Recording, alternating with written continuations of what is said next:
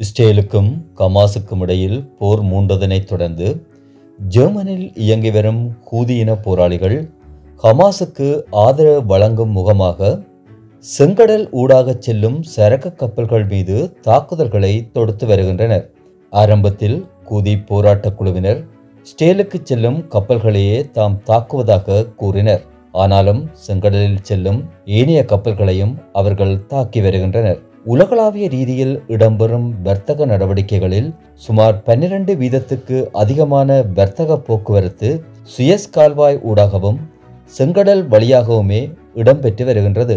செங்கடலில் இடம்பெறும் இவ்வாறான தாக்குதல்கள் உலக வர்த்தகத்தினை தற்பொழுது நெருக்கடிக்கு உள்ளாக்கி இருக்கின்றது குறிப்பாக பெட்ரோலிய பொருட்களின் விலைகள் அதிகரித்துள்ளன. ட்ரோன்கள் மூலமும் ஏவுகணைகள் மூலமும் தாக்குதல்களை மேற்கொள்ளும் ஹூதி போராளிகள் செங்கடலை ஒரு போர்ப்பதட்டமுள்ள பகுதியாக தற்பொழுது மாற்றியுள்ளனர்.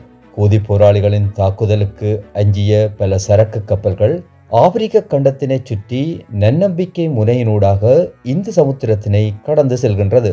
ஹூதி போராளிகளை கட்டுப்படுத்த கடந்த மாதம் அமெரிக்கா ஆபரேஷன் ப்ராஸ்பெரிட்டி கார்டியன் என்ற நடவடிக்கையினை முன்னெடுத்தது.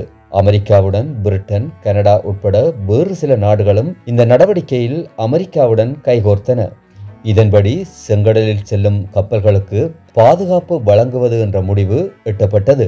இந்த ஒப்பரேஷனில் சீனாவையும் இணையும்படி அமெரிக்கா கோரிக்கையினை முன்வைத்தது. இந்த பின்னணியில் தான் கடந்த பதினோராம் தேதி ஜெர்மனியில் உள்ள ஹூதி போராளிகளின் முக்கியமான நிலைகள் மீது அமெரிக்காவும் பிரிட்டனும் தாக்குதலை மேற்கொண்டுள்ளது. இது மத்திய கிழக்கில் மேலும் பதட்டத்தினை தற்பொழுது ஏற்படுத்தியுள்ளது. அமெரிக்காவின் அறிக்கையின்படி கூதி போராளிகளின் அறுபது இலக்குகள் தாக்கி அளிக்கப்பட்டுள்ளன குறிப்பாக ராடர் சிஸ்டம் ட்ரோன்களின் களஞ்சிய அறை ஏவுகணைகளின் களஞ்சிய அறைகள் என்பன இவ்வாறு அழித்தொழிக்கப்பட்டதாக பென்டகன் தெரிவித்துள்ளது.